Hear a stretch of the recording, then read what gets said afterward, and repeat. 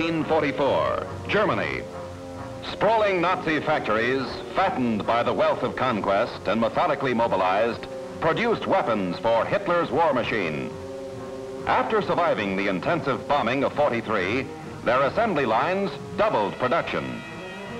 With painstaking German efficiency, the Luftwaffe grew alarmingly stronger. By February, destruction of the mounting Nazi manufacture became urgent because their production was rising to the goal of a plane every 15 minutes. Twelve of these factories in Germany and Poland were called point-blank targets and were given top priority. Hitler had looted the manpower and machinery of nearly a dozen European countries. Hermann Goering, his time running out, spawned reinforcements and new weapons.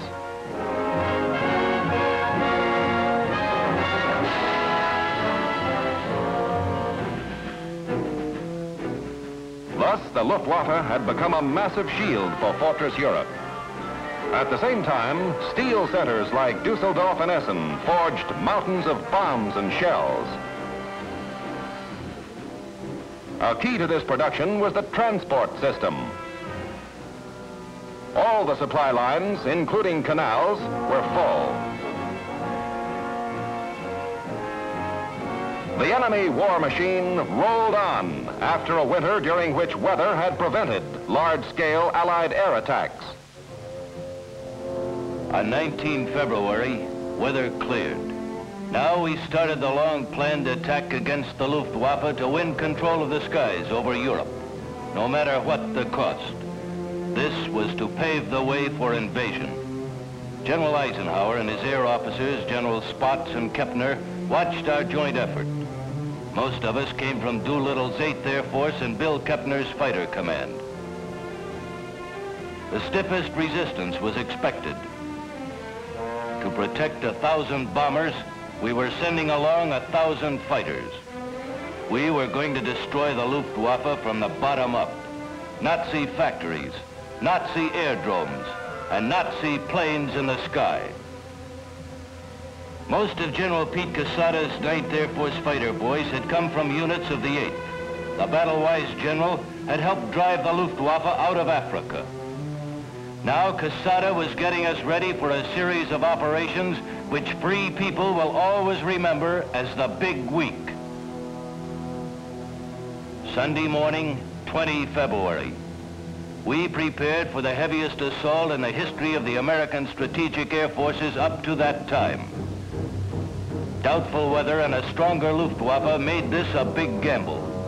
Some expected possible losses up to 200 bombers and crews. This was the prelude to invasion. Generals Brereton, Spaatz, and Vandenberg hurried to join the show. American heavy bombers from Britain and the Mediterranean and all the RAF could muster, the equivalent of five air forces, were about to hit the Nazis for six consecutive days and nights. In the biggest air blitz of the war, the Allies hoped to finally win air superiority over the Luftwaffe. The liberation of Europe was at stake. Now, for the first time, the AAF had the strength to mount a saturation offensive.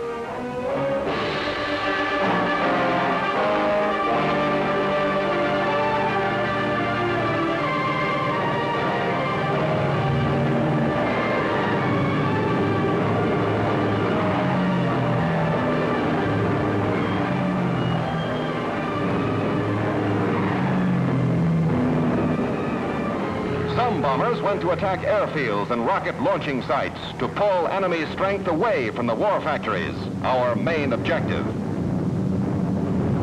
At fighter bases, all fighter command elements were raising the curtain for the prelude to invasion.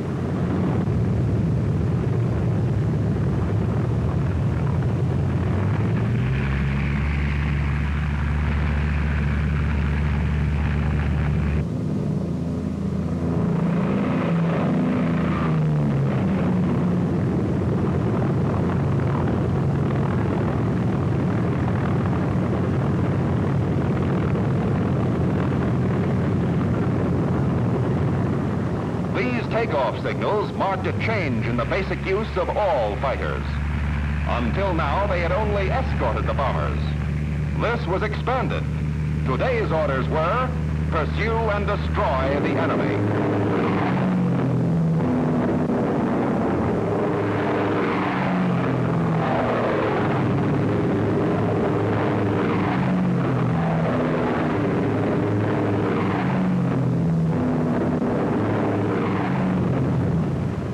The success of the Allied offensive depended on these escort fighters.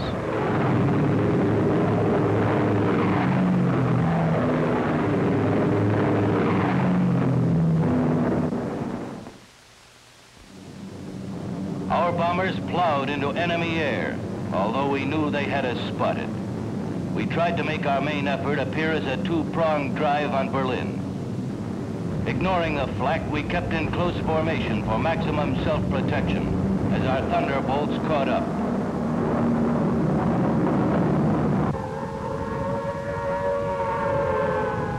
Forewarned, the enemy massed his fighters. They were as determined to stop us as we were to destroy them. Control of the sky, German sky, was the prize.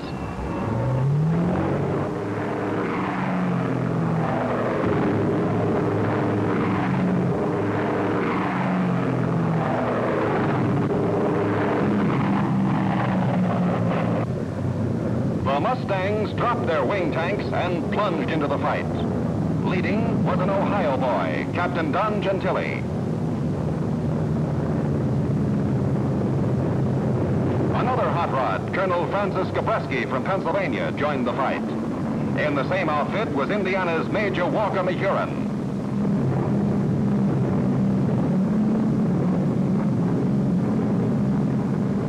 Yes, we bomber boys were in good hands. But enemy flak explosions were heavy, accurate, and intense. The Germans closed in. Then came a fresh formation of Mustangs, some of Colonel Blakeslee's bachelors. They came down from almost invisible heights to engage the enemy.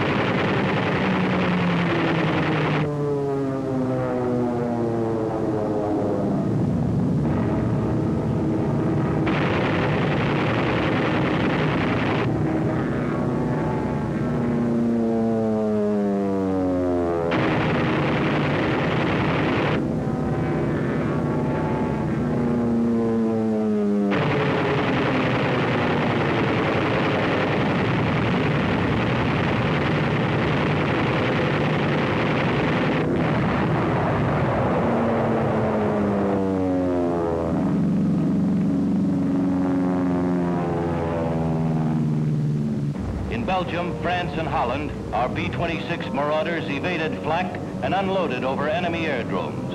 The brass hoped the weight of these bombs would force the Nazis to move their airfields inland. The plan, guided by General Sammy Anderson's boys, was succeeding. Over Germany, it was the same thing.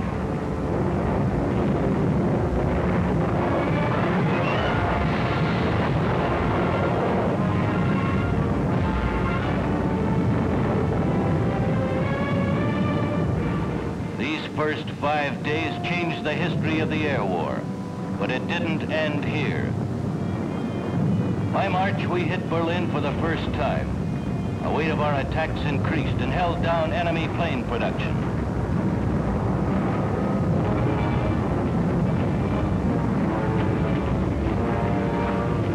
As the bombs fell, we pressed our advantage, barreling in to force the Luftwaffe into combat.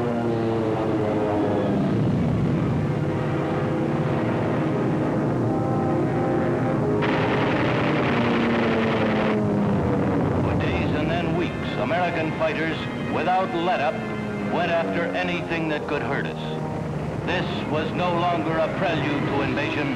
This was invasion.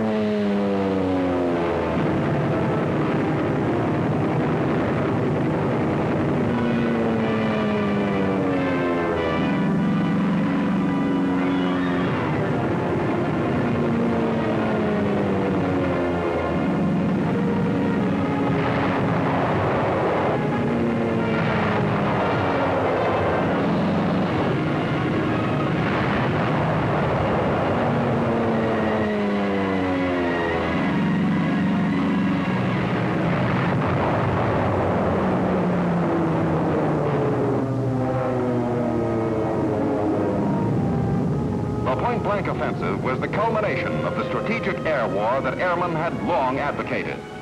The strong shield of Hitler's fortress, the Luftwaffe, had been swept away. As General Eisenhower proudly said, the air did everything we asked. They cleared the way for invasion. The Allies had attained freedom of the air with the combined long-range strategic bombing and tactical operations of the United States Air Force.